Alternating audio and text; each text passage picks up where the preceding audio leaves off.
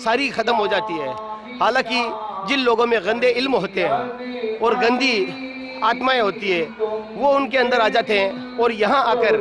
उन सारों से मुक्ति पाते हैं। सैयद अली मीरा दातार में यहाँ एक जब नगाड़ा बजता है,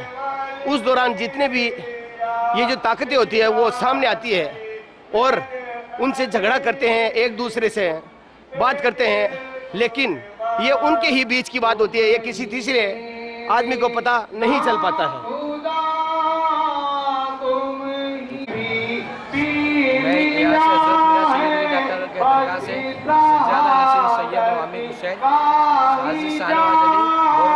यहाँ पर आते